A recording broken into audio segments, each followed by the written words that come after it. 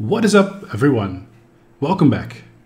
Two months ago I made a video about World of Warcraft ray tracing. Since then Shadowlands has been released and there have been some promising performance updates, which significantly increase performance and stability. Now one month ago AMD announced they're going to partner up with World of Warcraft. And the videos they've shown were very very promising. Now in this video I'm going to go over ray tracing in World of Warcraft and ambient occlusion, what we currently have and what we can expect in the future. What we currently have is ray trace shadows and they have a lot of potential but they're not that impressive yet. Now take a look at the face of my character, take a look at this shadow and take a look at the wall. You can skip back and forth if you wish. Let's turn it on. Here we have ray trace shadows on and as you can see the face of my character you can see the shadows because of the hair. The shadows of the building up above soften and the wall is a little softer as well depending on the distance. And the next scene I'm about to show you guys is from the AMD video and it shows some seriously awesome ray tracing, what we currently do not have and what I hope we can expect in the future. Now it starts with a clip of off and here it's turned on and holy cow, this looks freaking amazing, guys.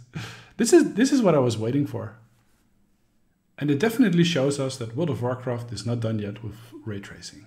Now, in order to achieve this goal, they will actually have to add more dynamic light sources.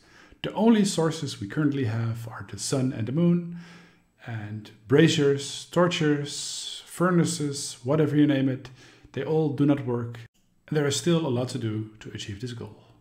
So we have arrived at ambient occlusion. And just let me show you what ambient occlusion does.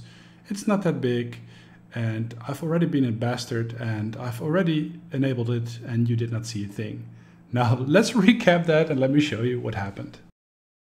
So here we have both ambient occlusion types, switching between them a few times and you decide which one suits you best.